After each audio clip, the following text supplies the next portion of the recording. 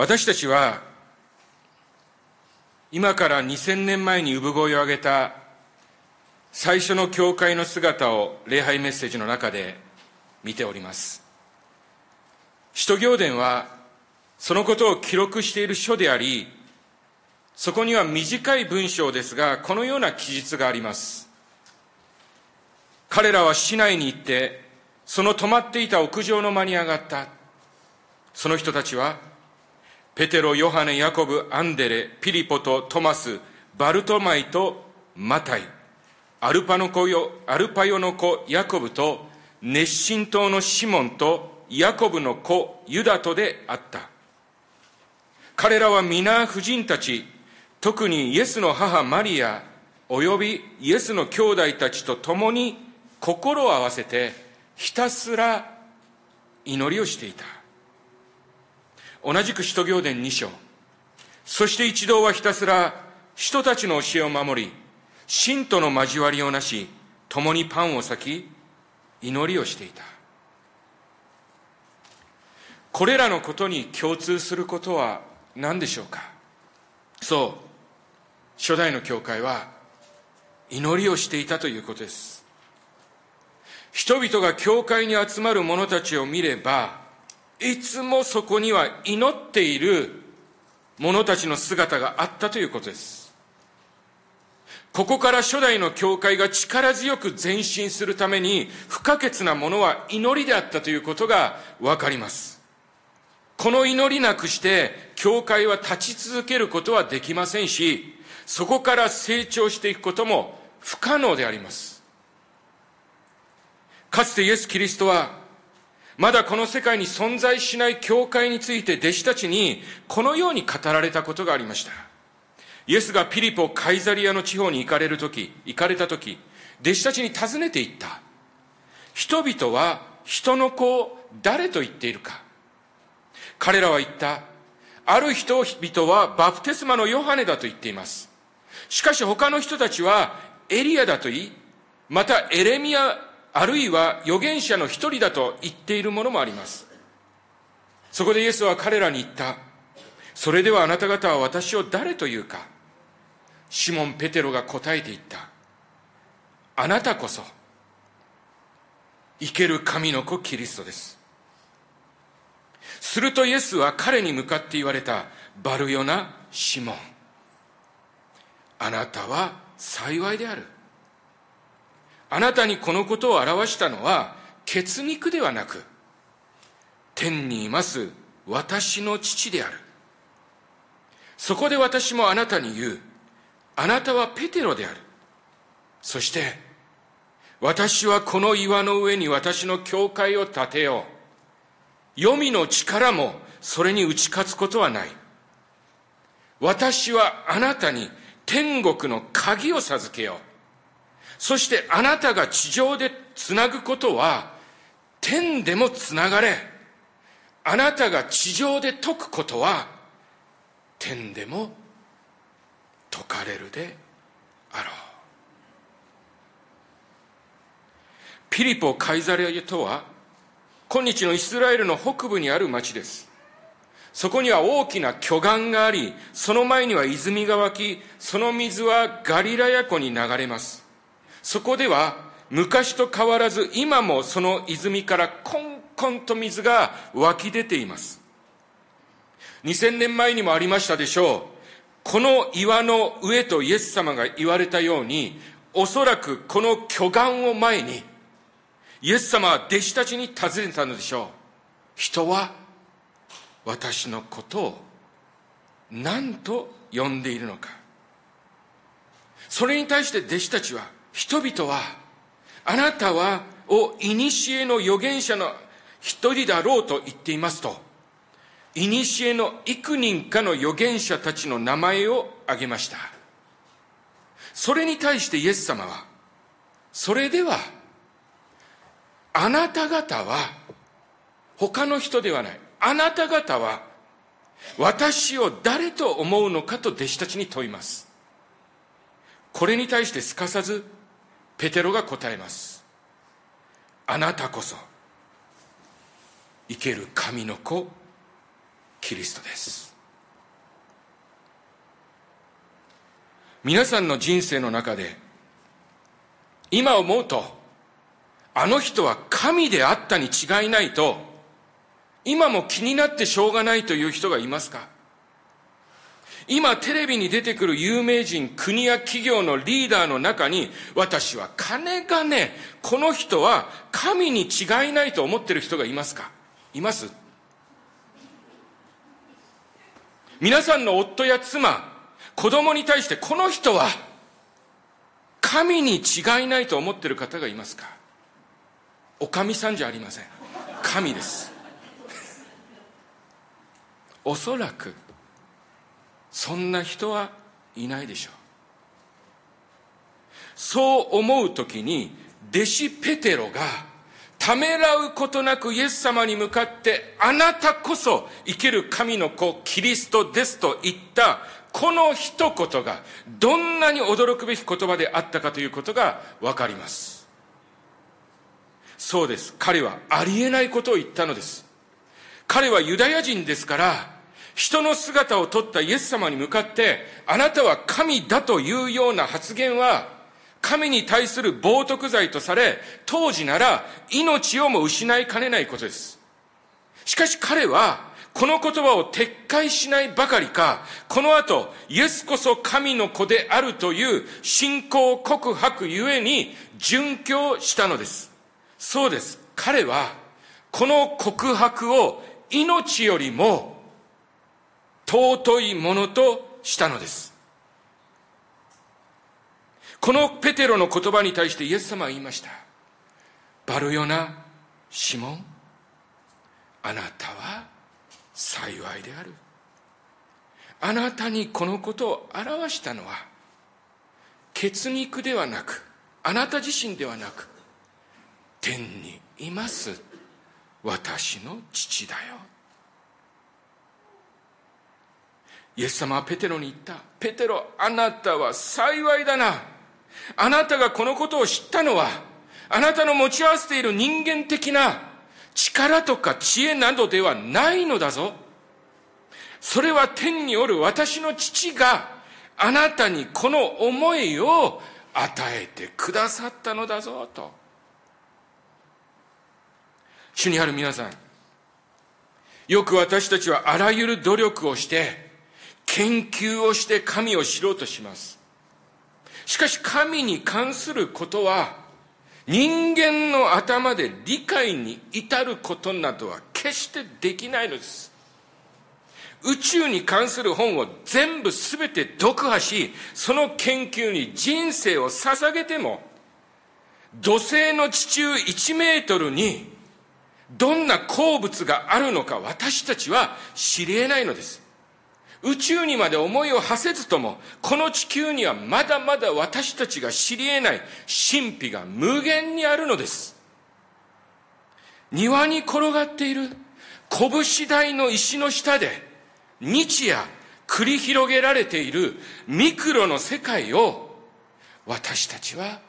知らないでしょう。そのミクロの世界のバランスとともに宇宙のすべてを地中に収めているお方の英知をどうして私たちが知り得ることができるでしょうか。今朝ペテロと同じようにイエスは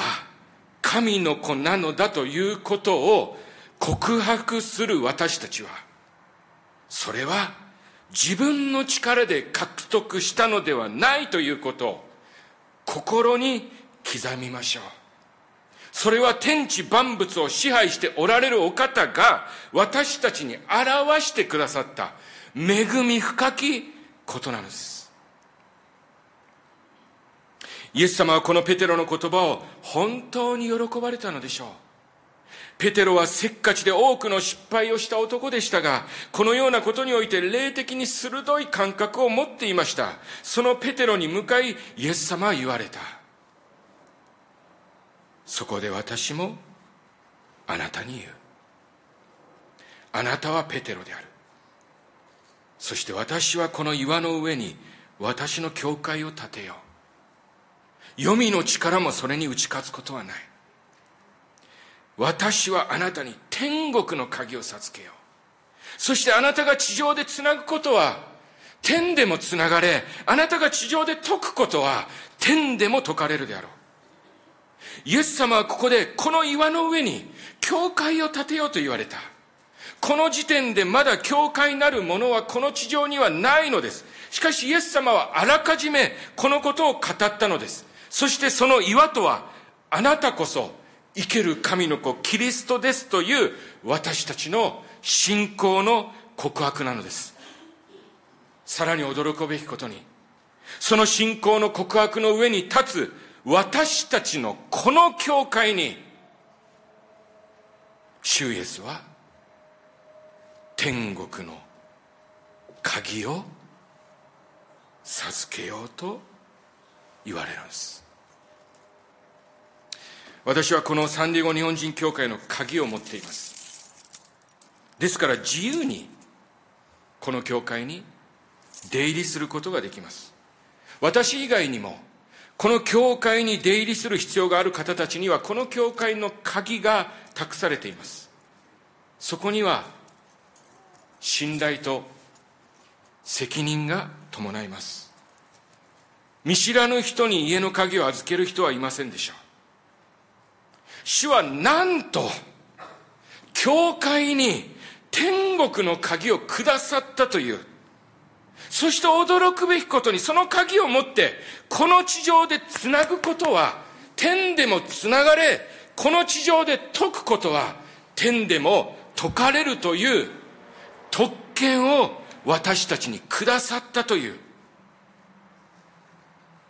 それでは私たちに与えられている、この天国の鍵とは何でしょうか？イエス様はこの後、ペテロに言われた言葉を念頭に置いて、こう語りました。誠にあなた方に告げます。何でもあなた方が地上でつなぐなら、それは天においてもつながれており、あなたが地上で解くなら、それは天においても解かれているのです。繰り返しここで言っています。そしてその後、誠にあなた方にもう一度告げます。もし、あなた方のうちの二人が、どんなことでも地上で心を一つにして祈るなら、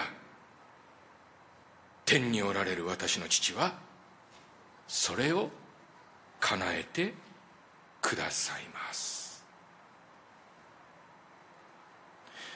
皆さん心に刻んで今日はお帰りください。主が教会に与えてくださっている天国の鍵は私たちの祈りであり私たちはその祈りをもって地上でつなぐことそれが天でもつながれ地上で解くことは天でも説かれているということ。私たちの祈りはこの地上のみならずですよ。天国にも影響を与えているという。そして主は言われる。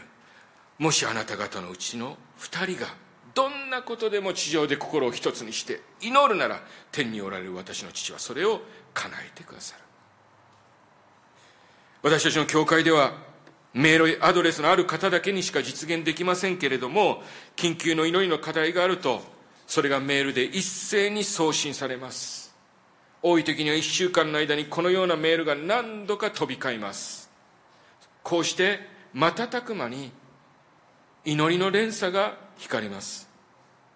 そして木水曜木曜の祈祷会ではまさしく2人もしくは数名の者たちがあちこちにでき、グループができ、祈りの課題を挙げて毎週祈っています。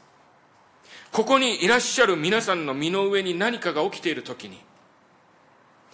私たちはその皆さんのために毎週祈っています。皆さんがお座りになっているその座席の前にも祈りの課題を書き込む封筒があるかと思います。よかったらどうぞそちらに祈祷課題を入れて、献金袋にあるいは私にお渡しください。私たちはいつもあなたのことを覚えお祈りしています先に弟子たちがイエス様に答えた預言者の中に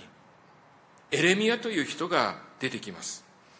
彼を預言者として神が用いられた時代は聖書の歴史の中でも最暗黒の時代でした。最悪の時代でした。すでにその時にイスラエルは北イスラエルと南ユダに分裂し北イスラエルはすでにアッシリリアによって滅ぼされ南ユダの民たちもそれまでに数えきれないほど神に守られ神の恵みを存分に受け今日があるのに彼らは完全にその恩を忘れ神の存在など全く顧みない目を塞ぎたくなるような生き方をしていました。その民が傍若無人な獣のような様がエルサエレミア書には記録されていますがそのような中でエレミアは神に立ち返ることを民に何度も訴えますが彼らはエレミアを嘲笑い攻撃し彼は家族にも見捨てられ人々は彼の命を奪おうとします。それゆえに人は彼を涙の預言者と呼びました。そうです。彼はそんな同胞の民のために涙と共に祈り続けた。そのエレミアの時代から650年後にイエス様はピリポ・カイザリアで先の人々は人の子を誰と言っているかとお尋ねになったのです。そしてその時に弟子たちはこのエレミアの名前を挙げたのです。なぜ人々はイエスを見てエレミアを思い起こしたのか。それはこの涙の預言者の姿をイエス・キリストにも見たからに違いありません。エレミアの涙と同じ涙を流されたイエス・キリストなのです。主イエス・キリストはある時イスラエルの民への思いを抑えきれずにこう言いました。ああエルサレムエルサレム。預言者たちを殺しお前に使わされた人たちを石で撃ち殺す者よ。ちょうど面取りが翼の下にそのひなを集めるように私はお前の子らを行くたび集めようとしたことだろう。どれだけ彼らのために神はその愛を注ぎ彼らの過ちを許しただろうか。何度我が子を守る面取りのようにあなたたちを翼の下にその保護のもとに集めようとしただろうか。しかしあなたたちはそれに応えることがなかったとイエス様は悲しみを言い表した。またルカはこのような出来事も記録している。いよいよ都の近くに来てそれが見えた時そのために泣いて言われた。もしお前もこの日に平和をもたらす道を知ってさえいたらしかしそれは今お前の目に隠されている。このようにエレミアの同胞の民たちへと流された涙はイエスの人々への涙へと引き継がれていくのです。どちらにも共通していることは二方とも自分のために泣いたのではなくて自分以外の人たちのために涙を流したのです。そしてこのことは私たちも共有することなのです。もし皆さんの中で誰かのためにその人生を用いその人のために涙を流して祈っている方がいるとしますのならばその方はエレミアとイエス様と同じところに立っていることを知ってください。そしてその涙が無駄になることはないということを知っていただきたいのです。エレミアが神から受けて民に語り続けた予言は南ユダが滅亡するだろうということでした確かにあなたたちは滅ばされると聞いて、喜ぶ人などはいません。それゆえに民はますますエレミアを憎みました。しかし彼はこれから彼らに起こることを主に代わってそれでも語り続けた。主は言われる。あなたたちは必ずバビロンによって滅ぼされ、彼らのもとに捕らえられていく。この町にとどまる者は剣や飢饉や危機、疫病で死ぬ。しかし、バビロンに囚われる者は死を免れる。エレミアの涙の祈りは一見何も報われなかったように思われます。なぜならイスラエルの民の堅くなさがこの後に変わることはなかったからです。しかし神は確かに彼の祈りを聞かれました。このエレミアの予言は紀元前587年に成就します。南ユダの民はエレミアが予言したようにバビロンに捕らえられていきます。しかしこの囚われたユダヤ人たちは、そのことが起こる前からエレミアが予言していたように、バビロン捕囚からその70年後にペルシャ王クロスによって解放され、再びエルサレムに帰還することが許されるのです。これは歴史に起きたことです。彼らは深い深い神の摂理の中、エレミアの予言通り、囚われることによって救われたのです。そしてそれゆえにユダヤ民族の歴史は途切れてしまうのではなく続き、それゆえにその歴史の彼方先にイエス・キリストが誕生し、その救いの見業がなされていったのです。そうです。エレミアの涙の祈りは決して決して無駄ではありませんでした。イエス様の涙はどうでしょうか？イエス様が十字架にかかり殺されることにより、その涙は無駄になってしまったのではないかと思われました。しかしこのイエス様の涙も無駄ではありませんでした。どこにその証拠がありますか？私たち一人一人がその証拠です。イエス様の流された涙によって、私たちは今、永遠の希望をいただき、ここに集ってきてるのですから。そう私たちは皆、イエスの涙の取りなしによって導かれた。イエスの涙の祈りによって救われた者たちなのです。それでは皆さん、私たちが誰かのために流す涙はどうでしょうか？私たちが誰かのために流す涙は無駄なのでしょうか？いいえそれが無駄になることはありません。キリスト教の世界には涙の子は滅びないという有名な言葉がありその一つの出来事としてこんな実話があります。紀元300年代ローマ帝国にアーグスティヌスという人がいました。あの告白という有名な書を書いた人で今日信仰者でなくともその名前がよく知られているキリスト教師を語るときに避けて通ることができないキーパーソンです。そんな彼でしたが若い日には自堕落な日々を延々と延々と過ごしていました。彼は17歳から家を出て放蕩し色欲に呼ばれいろいろな女性関係を重ねある女性と同棲し若くして子供を設けました。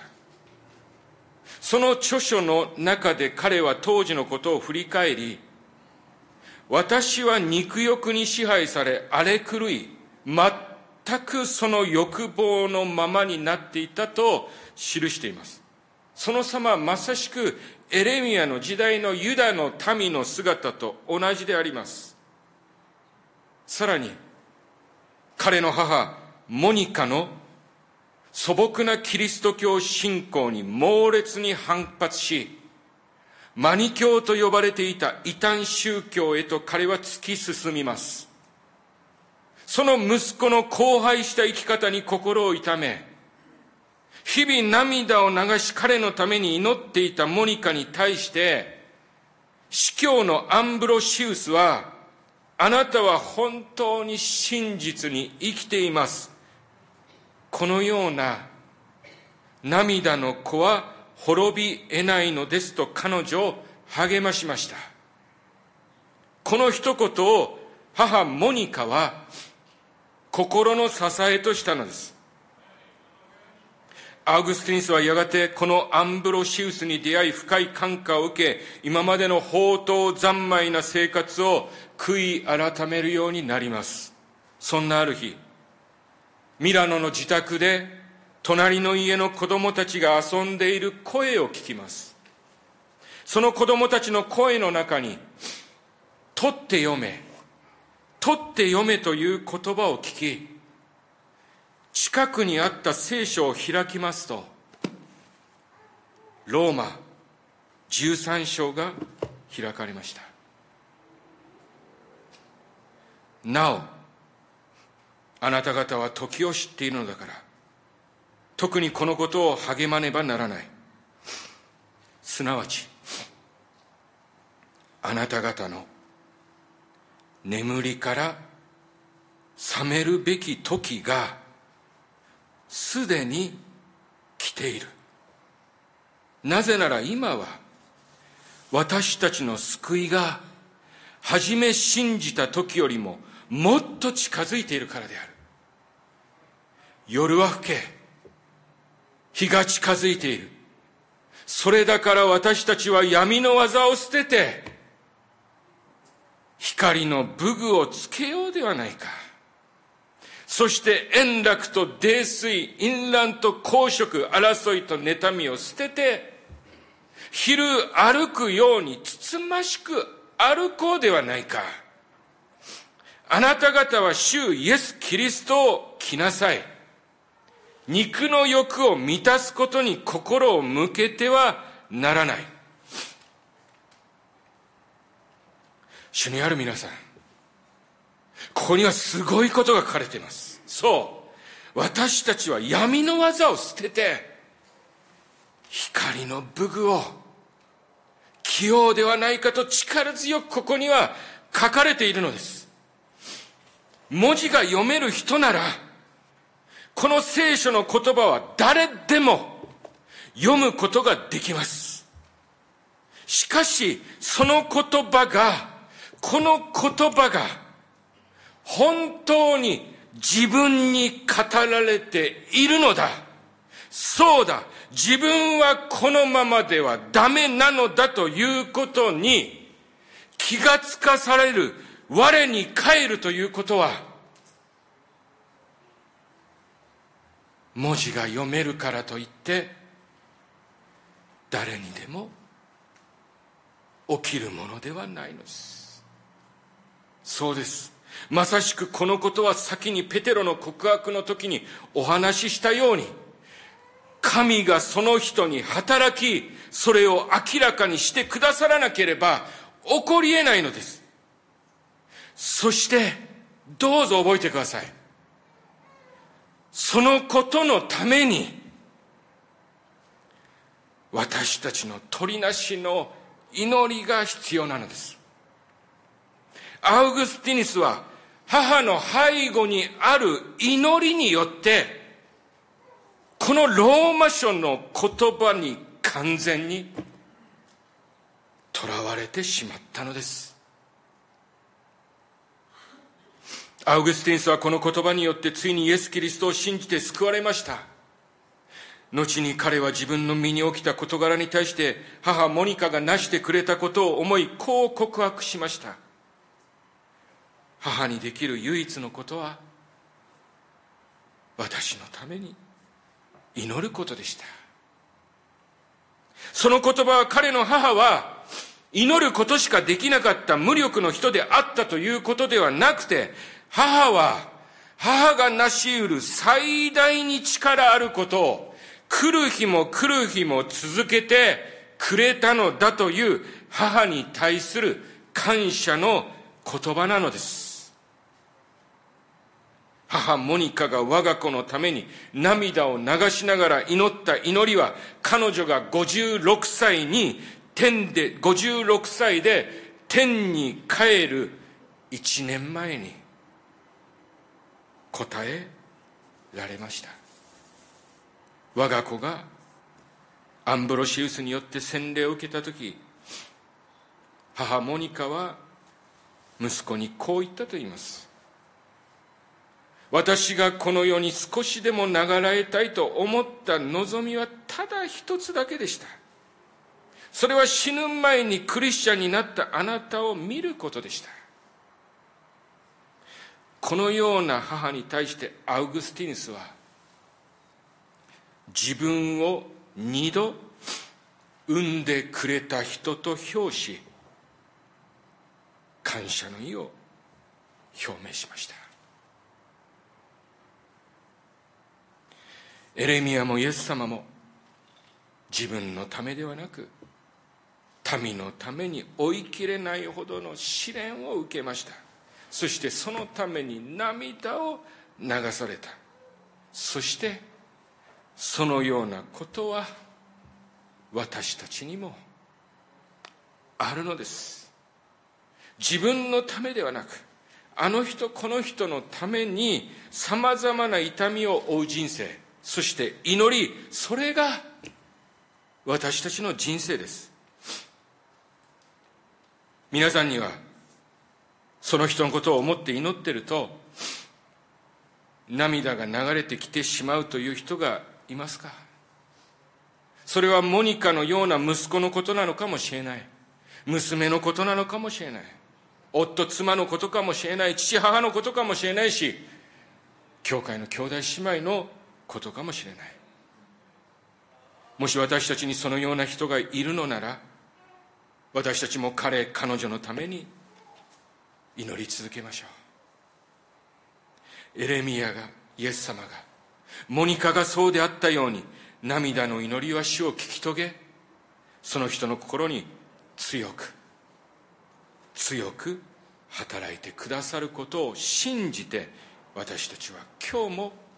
明日もこの教会を主の宮祈りの宮として祈り続けようではありませんか。祈りなくして私たちは全く無力です。私たちがこの地上でつなぐことは天でもつながれ。あなたが地上で解くことは天でも解かれるのです。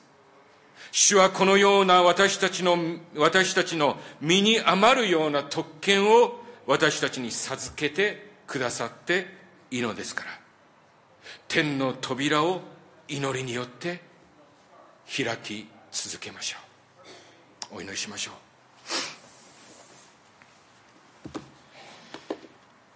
天の父様、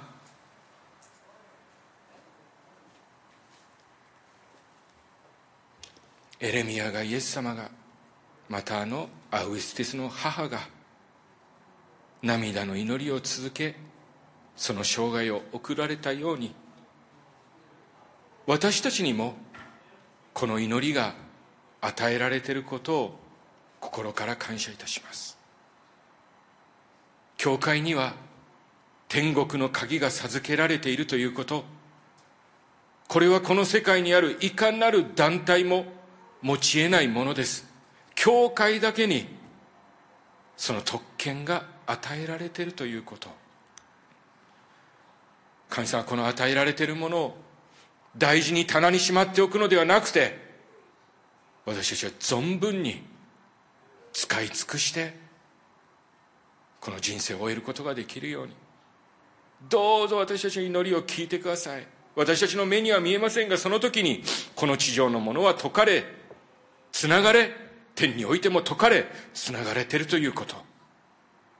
このようなあなたの御手の中にある見業を信仰の目を持って見つつ祈りの御手を上げ続けるものとしてくださいますように。今もしこの中に誰かのために祈り続けているという方がおりましたらどうぞしようその祈りをあなたがお聞き届けくださいますように。主私たちの祈りは何度も何度も聞いているこの聖書の言葉それがその人の心の中に届くことです。主よどうかそのくしき見業それは我々の努力では決してできないことですから。主よ力強くあなたの見業が精霊の見業がなされることを心からお祈りいたします。今日もこの後全てのプログラムの中にこの神の御業を期待します。我らの救い主主イエス・キリストの皆によってお祈りいたします。アーメン。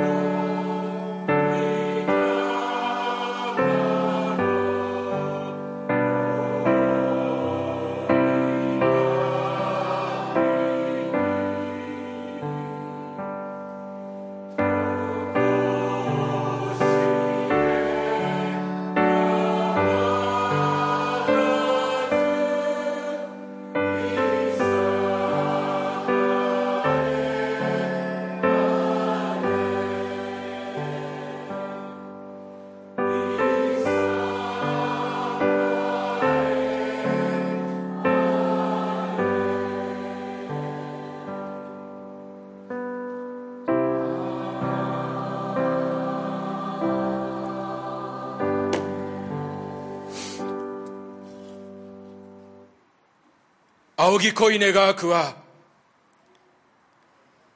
私たちのために涙の祈りをし続けてくださった我らの主イエス・キリストの恵み。私たちのどんな拙い祈りも今も聞いていてくださる我らの父なる神のご愛。生むことなく祈りの御手を上げつげ上げ続けさせてくださる。精霊様の豊かなる御交わりが今日この礼拝に出席することが許されまた今これからそれぞれの生活に戻っていく。私たち一同の上に今も後もよよ限りなくあらんことを。アーメン。